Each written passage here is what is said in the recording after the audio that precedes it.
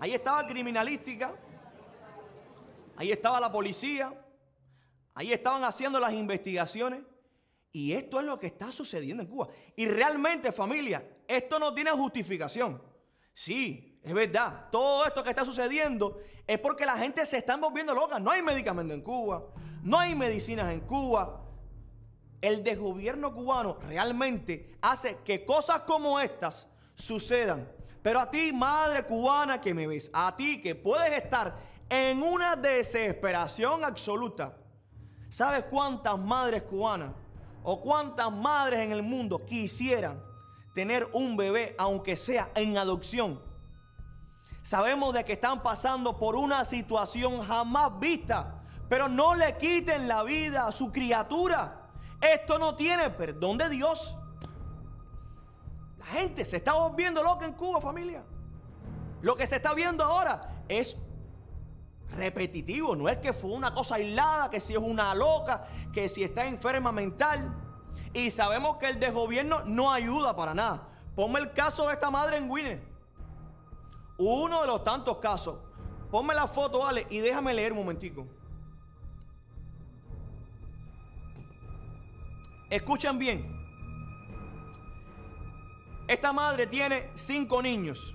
Está abandonada por el estado de Winnie. Ella no tiene a dónde ir y se metió en este lugar que está situado en Winnes, en la escuela Félix Varela. Y la quieren sacar de ahí. Porque dicen ellos que es patrimonio. El basurero ese, la destrucción esa, es patrimonio.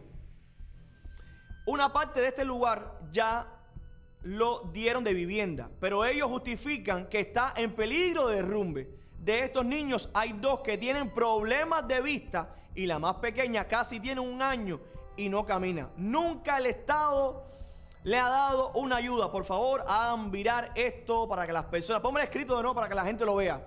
Esta es la situación. Y vuelvo y repito, no justifico a ninguna madre que tome la peor decisión, que obviamente es quitarle la vida a su bebé. Pero también hay que estar en los zapatos. Cinco niños. Van a salir los aires por ahí. Van a salir, sí, los aires. ¿Y por qué tuvo cinco niños? Pero ella no se cuida. Tampoco ayudan. Oye, es verdad. Tienes mucha razón. Pero no es que vivimos en un país comunista.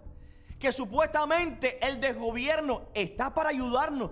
Que supuestamente el gobierno siempre te va a apoyar que te va a dar una casa, que no te va a dejar desamparado, porque esas son las palabras de Canel y de los ministros. No te vamos a dejar desamparado, ningún cubano quedará desamparado. Bueno, empiecen por esta cubana que está sobreviviendo, no viviendo, porque eso no es vivir, eso no es vida. Es triste de verdad. Mira, para la gente que me dicen,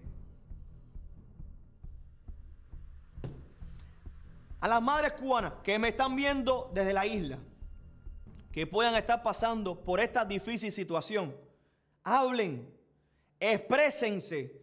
Hay mucha gente dispuesta a ayudarlas. No cometan el peor error de su vida. No acaben con su vida y tampoco con la de su bebé. Hay mucha gente dispuesta a ayudar. Nosotros aquí estamos dispuestos a ayudar.